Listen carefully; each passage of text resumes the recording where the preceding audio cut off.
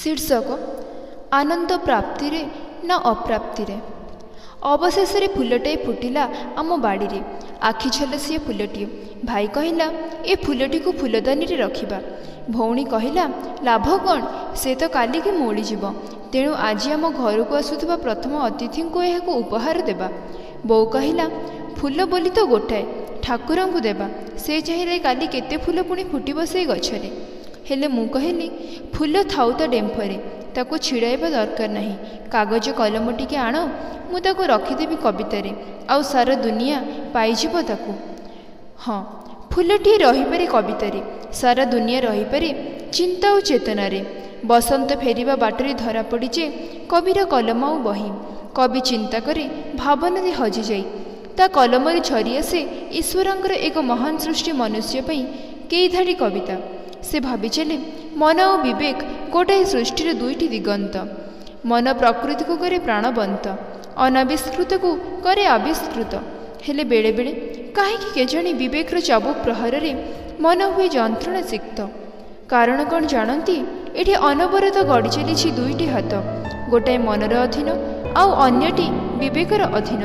ଗୋଟାଏ ନିର୍ଦ୍ଦିଷ୍ଟ ଘରଟିଏ କରିବାର ଦୁର୍ଗମ ସଂକଳ୍ପକୁ ନେଇ ଏବଂ ଅନ୍ୟଟି ଘରଟିଏ ମୁଣ୍ଡି ମାରିବା ପୂର୍ବରୁ ଭାଙ୍ଗିଦେବାର ଦୁଃସାହସକୁ ନେଇ। ହେଲେ କିନ୍ତୁ ଅବାଧ୍ୟ ନିଷ୍ଠୁର ଉର୍ମିମାଳକୁ ବାଲୁକ ଶଯ୍ୟାର ଖାତିର ନଥିବା ଭଳି କର୍ମମୁଖର ବିବେକର ଖାତିର ନାହିଁ ମନର ଅବାଧ୍ୟତା ପାଇଁ। ବିବେକ ଯେମିତି ଏଠି ଗଢ଼ି ତୋଳିବାର ଏକ ସଂକଳ୍ପକୁ ନେଇ ଆଗେଇ ଯାଏ ଆଗକୁ ଆଗକୁ। ପ୍ରାଣରେ ତାର ଅସରନ୍ତି କୁତୂହଳ। ପ୍ରତିକୂଳ ଉର୍ମିମାଳକୁ ପ୍ରତିହତ କରି ଗଢ଼ି ତୋଳିବ ସେ ଏକ ବାଲିର ଘର। ହଁ ସମୁଦ୍ର ବେଳାରେ ବାଲିଘରଟିଏ ଗଢ଼ି ତୋଳିବାର ପ୍ରବଳ ଆକାଂକ୍ଷାକୁ ନେଇ ବିବେକ ଆଗେଇଛି ଏଠି। ସେ ଜାଣେ ଅପୂର୍ଣ୍ଣକୁ ସମ୍ପୂର୍ଣ୍ଣ କରିବାର ସଂକଳ୍ପ ହିଁ ତାକୁ ଆଗେଇ ନେବ। ସେ ଅପୂର୍ଣ୍ଣ ବୋଲି ତ ଗତିଶୀଳ ଅପୂର୍ଣ୍ଣତାରୁ ହିଁ ଅଭିବୃଦ୍ଧିର ପ୍ରେରଣା।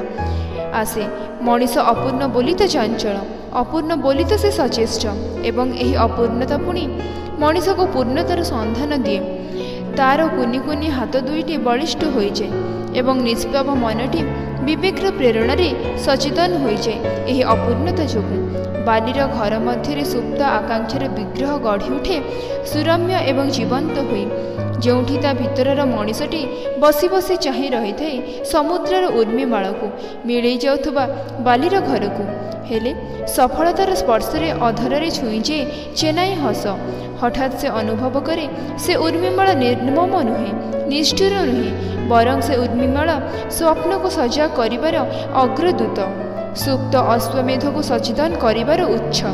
ତେଣୁ ସେ କହିଉଠେ ହେ ନୂତନ ଆଲୋକ ସନ୍ଧାନୀ ଭାଙ୍ଗି ପଡ଼ ନାହିଁ ଅପୂର୍ଣ୍ଣତାର ଆତ୍ମଯାତନାରେ ଟଳିଯାଅ ନାହିଁ ଲୋଳିଆର ଆଖି ନେଇ ବାରମ୍ବାର କର୍ତ୍ତବ୍ୟର ମହୋଦଧିକୁ ଲମ୍ଫ ଦିଅ। ମୁକ୍ତା ମିଳିବ ହିଁ ମିଳିବ। ତେବେ ଆମେ କ'ଣ ଅନ୍ଧ ଭାବରେ ବିବେକର ଉପଦେଶକୁ ମାନି ନେବା ଆରେ ଏ କ'ଣ?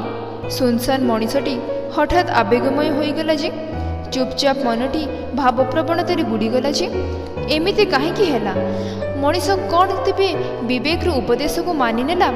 ବିବେକ ରୂପୀ ଅଜଣା ସାଥୀଟିର ନିରବ ନିମନ୍ତ୍ରଣରେ ନିଜକୁ ହଜେଇ ଦେଲା? ହଁ ଏହା ହିଁ ତ ହୁଏ ବେଳେବେଳେ।